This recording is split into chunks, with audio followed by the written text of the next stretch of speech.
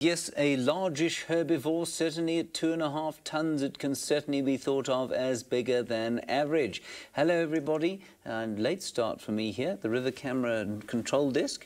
A very warm welcome to all of you. Uh, we're looking at a slightly less warm welcome in the water there of the Mara, only about 25 degrees Celsius, 75 Fahrenheit out here today, so not very warm at all completely live, just like Jamie and Tara and Tristan, hashtag Safari Live if you'd like to ask us any questions, or you can use the YouTube chat function. That will work just as well. Now, the hippos here, having a little bit of a spat, don't really understand why it is that they've been left completely in peace with the wildebeest having moved far north to run the gauntlet of the river. Why are they doing that? Well, as Jamie's just said, no one really knows to be sure. So we've got hippo here, and then we do, in fact, have very large, uh, or even larger animals at Main South. Can we go and have a look there? Is that possible? Is it possible to go? There we are. Well done. Okay, so now we have an elephant. And the reason he's not looking in the highest definition at all is that he's just a little bit of distance away from the camera, so I've had to zoom in as far as possible. And that does reduce the quality slightly. There he is. Oh, he seems to have a rather swollen belly there, and he's definitely a he. So I don't know what that is.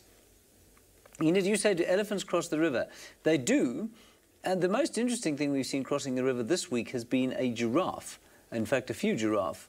Uh, so I didn't know that they did that. We know that the lions definitely also cross the river because we see them with their muddy paws, often from the balloon after they've just got out of the river. We've seen Scarface, the big male lion, with his gammy left hip. Is it his left hip? No, his gammy back right foot. Back, gammy back right hip. He definitely crosses the river. We've seen him on both sides. We've seen the paradise lionesses on both sides. And so, yes, elephants will cross, lions will cross, giraffe will cross, topi, wildebeest, zebra, Thomson's gazelles. Um, I've seen impala massing. I haven't seen them actually take the plunge, though. Uh, so I'm, i think that's probably about it. I wonder if, I don't think the rhino cross. I imagine the leopard uh, could definitely cross. They're adept swimmers, so that's possible. Um, and possibly the odd uh, bushveld gerbil. I'm joking about that. I'm not sure if bushveld gerbils cross the river at all. And you can see not a sausage of antelope or zebra action there. Hmm.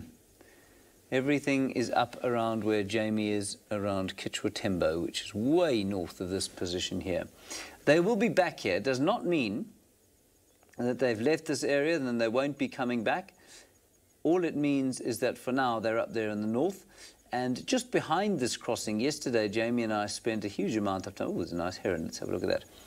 Uh, spent a huge amount of time looking for lions in amongst enormous, enormous herds, probably the biggest ones I've seen. Is a grey heron? It looks like it might be a grey heron. Oops, the daisies. Hold on, everyone. There we go, getting in closer. It looks like a black-headed heron, actually. No, it's not. It's a Goliath. It's a, is it? Yes, it is. It's a Goliath heron. The colour is not fantastic. There we go. This is a monstrous fellow. That's very special. Huh. Wow. That's really cool. Look at his head, poised to stab a fish. Stab, stab, heron. Unpleasant if you happen to be a fish.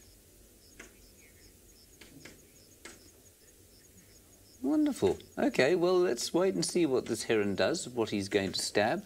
While we do that, pyjamas way up in the north would like to show you some death.